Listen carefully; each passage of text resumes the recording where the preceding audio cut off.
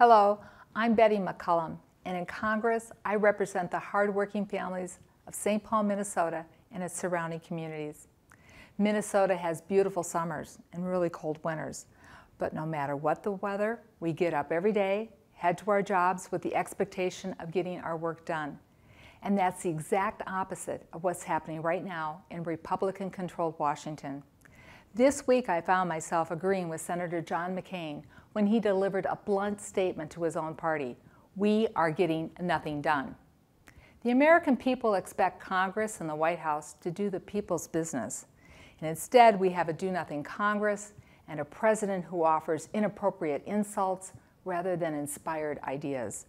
No matter where you live, a big city, the suburbs, a rural community, or a tribal nation, you know that our families, students, seniors, and small business owners are facing real challenges.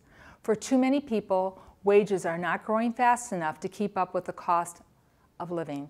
Many businesses can't find workers with the required skills. Too often workers can't afford the education and training they need to secure better paying jobs.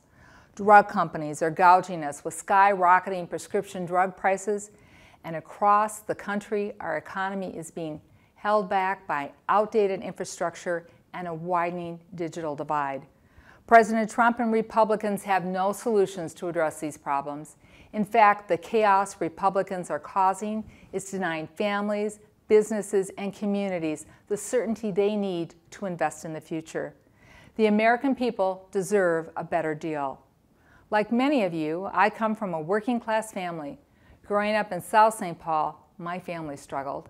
And as a young mom, I raised my kids, worked at Sears, and went back to college, all at the same time. And when my kids got sick, we took the bus to go see the doctor. I know my story isn't unusual. Americans work hard every day to support our families. All the while, we keep our eyes focused on a better future. But there are times when life is not easy, and we can all use a little help. And that's why House and Senate Democrats came together this week to announce a better deal for America's families. Democrats in Congress are taking on the real challenges facing America, finding solutions that are responsible, compassionate, and effective. The bickering, name-calling, and game playing in Washington, it needs to end. It's time to get to work.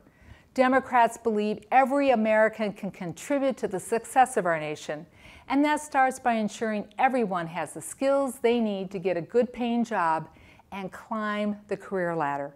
Democrats are determined to lower the cost of college, create more skilled apprenticeships, and make it easier for businesses to train workers. Democrats are ready to invest in modern infrastructure, the roads, bridges, and transit system of tomorrow, and we want to expand high-speed internet to every corner of America. These investments will move our economy forward and support millions of jobs. Democrats will put your family first by cracking down on unfair foreign trade, corporations that ship jobs overseas, and drug companies that gouge patients in the heartland, we expect our leaders to respond to the challenges we face rather than catering to billionaires in Wall Street. We expect the federal government to be a partner that works with farmers and Main Street businesses, helps families afford career training and college, and makes sure every veteran receives the benefits they've earned. We know that protecting the air we breathe and the water we drink is good for all of us. And we know that every American family needs affordable, quality health care. Yet Republicans keep putting the 1% first. They're still pushing failed trickle-down policies and rolling back on the protections that Americans count on. This week, members of Congress begin going home for the August recess. This is a chance for citizens to hold their senators and representatives accountable by asking the tough questions. What are you doing to help working families get ahead? What are you doing to protect my family's health care? You deserve answers, and you deserve a better deal than the one you're getting now. And that's exactly what Democrats are working for. Better jobs, better wages, and a better future for every American. Thank you for listening.